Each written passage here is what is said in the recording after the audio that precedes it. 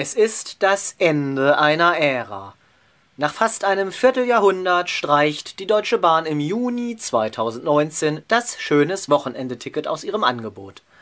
Adäquaten Ersatz sollen das Quer durchs Land und die Ländertickets bieten. Zeit für einen Nachruf auf das gute alte Wochenendticket, das ich in seinen Anfangsjahren intensiv genutzt habe. Alles begann am 1. Februar 1995.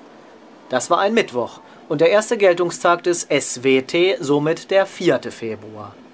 Die Startkonditionen Fünf Personen konnten für insgesamt 15 D-Mark samstags und sonntags mit Regionalzügen durch Deutschland fahren.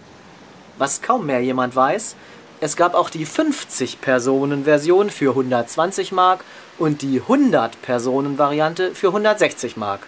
Beide verschwanden nach sechs Wochen vom Markt. Am besagten 4. Februar war ich in Lüneburg und Winsenlohe mit einer normalen Fahrkarte mit Bahncard-Ermäßigung.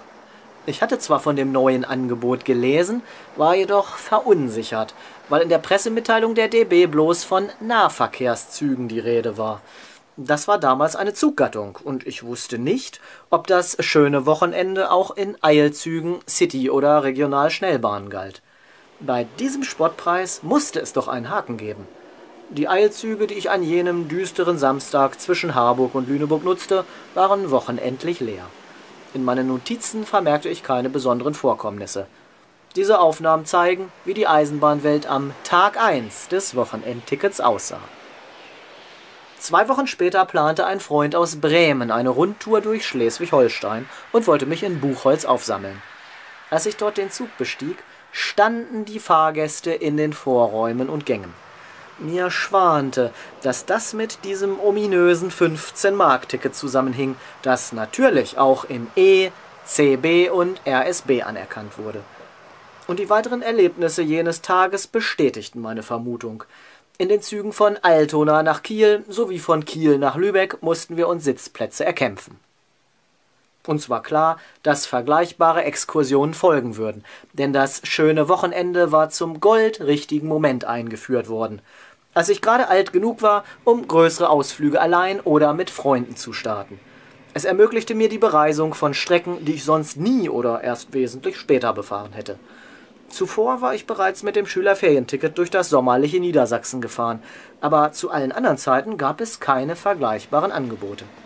Das Wochenendticket war genau das, was ich mir immer gewünscht hatte.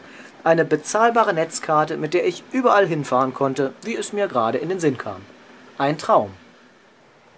Es war nicht so, dass ich von nun an jedes Wochenende unterwegs gewesen wäre, aber immerhin jedes zweite.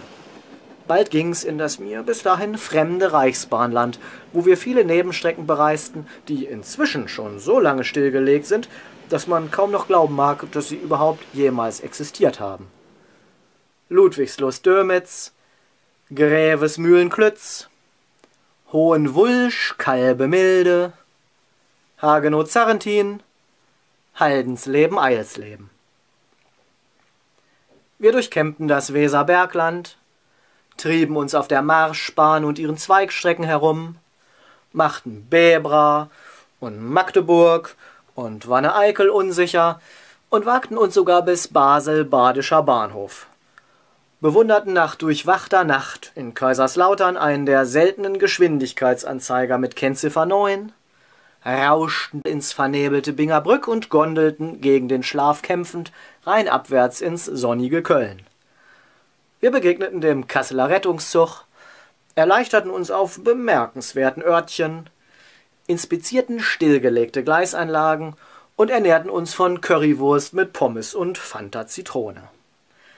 Geplant wurden diese Touren mit dem Kursbuch. Das klappte meist problemlos, weil sich die Fahrzeiten nicht ständig änderten und baubedingte Totalsperrungen mehrgleisiger Hauptstrecken die absolute Ausnahme bildeten. Und wenn ich dann am Montag wieder in der Schule saß und Gedichte auseinanderpflückte, den Doppeldominant-Sepnon-Akkord mit tief alterierter None zu verinnerlichen versuchte und die Mendelschen Regeln anhand gepunkteter Garfields vermittelt bekam, zehrte ich vom Wochenende und das machte alles gleich viel erträglicher. Die Züge auf den Hauptstrecken wuchsen von drei auf zehn Wagen und waren trotzdem überfüllt.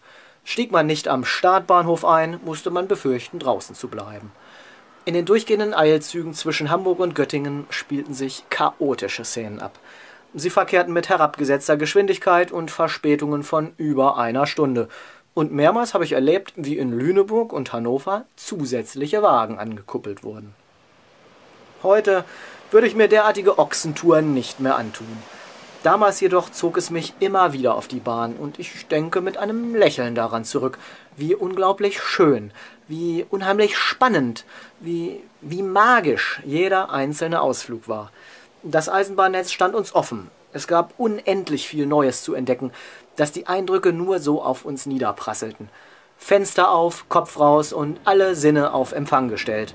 Wind im Haar, kreischende Klotzbremsen, die typischen Gerüche von Silberlingen, Reichsbahnabteilwagen und teergetränkten Holzschwellen, der spontane Schnack mit dem Zufallsgegenüber im kreuzenden Zug auf dem Nachbargleis. Die Erinnerungen an jene 15 Mark Wochenenden verblassen. Auch meine Aufzeichnungen sind spärlich, aber viele Fotos und Videos lassen Vergessenes wieder aufleben.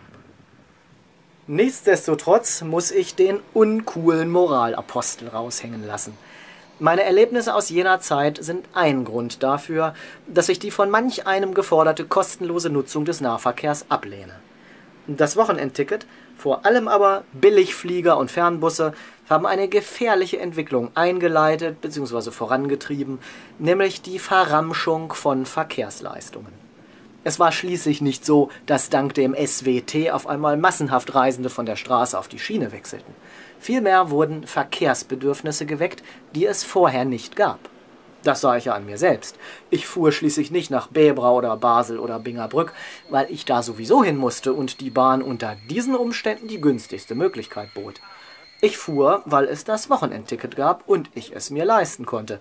Ansonsten wäre ich nie auf die Idee gekommen, durch die Welt zu kajolen und hätte stattdessen Samstagnachmittags die Bundesliga-Konferenz im Radio gehört, abends eine süße Maus ins Kino ausgeführt und sonntags Lindenstraße geguckt. Und so gilt Mobilität für ein Appel und ein Ei heute mehr denn je als ein Grundrecht. Und die Spottpreise in der Luft, auf der Straße und der Schiene sind ein guter Gradmesser für die Geiz ist geil Mentalität einer satten, aber unersättlichen Gesellschaft. Auch die Bundesregierung sieht derartiges Anspruchsdenken unkritisch und versucht den Klimawandel mit autonom fahrenden Elektroautos oder Flugtaxis zu stoppen, anstatt ernsthafte Vorschläge zur Verkehrsvermeidung zu erarbeiten. Aber genug Spaß gebremst, zurück zum Wochenendticket. Die Preise und Konditionen wurden im Lauf der Jahre immer mal wieder angepasst. Zum Sommerfahrplan 95 erfolgte eine Preiserhöhung auf 30, zum Januar 96 auf 35 Mark. Im April 98 wurde die Gültigkeit auf nur noch zwei Erwachsene mit beliebig vielen eigenen Kindern oder maximal fünf gemeinsam reisende Jugendliche bis einschließlich 17 Jahren beschränkt.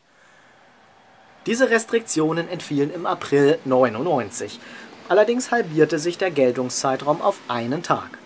Zwischen 2002 und 2014 erfolgte schrittweise die Preiserhöhung von 21 auf 44 Euro. Seit April 2005 müssen alle Mitfahrer ihre Namen auf dem Ticket eintragen. Zum Dezember 2014 wurden gestaffelte Preise je nach Anzahl der Mitfahrer eingeführt. Im letzten Jahr des SWT zahlt der erste Reisende 44, alle weiteren jeweils 6 Euro wobei mir so spontan gar nicht einfällt, wann ich dieses Angebot letztmalig genutzt habe. Die zur Gewohnheit gewordenen Verspätungen und Zugausfälle, aber vor allem Fußballchaoten, Junggesellenabschiede, Kegelclubs und so weiter, bei denen Herdentrieb und Gruppenzwang jegliche Erinnerung an die gute Kinderstube ausradieren, haben mir die Lust auf wochenendliche Bahnfahrten schon vor etlichen Jahren genommen. Nun denn, im 25. Jahr ist also das Ende des schönen Wochenendes gekommen. Schön war's, aber alles hat seine Zeit. Ich werde das Wochenendticket nicht vermissen, mich aber immer daran erinnern, wie es mir den Zugang zur großen Eisenbahnwelt ermöglicht hat. Daher sei abschließend jenen, die dieses Angebot aus der Wiege gehoben haben, unbekannterweise herzlich gedankt.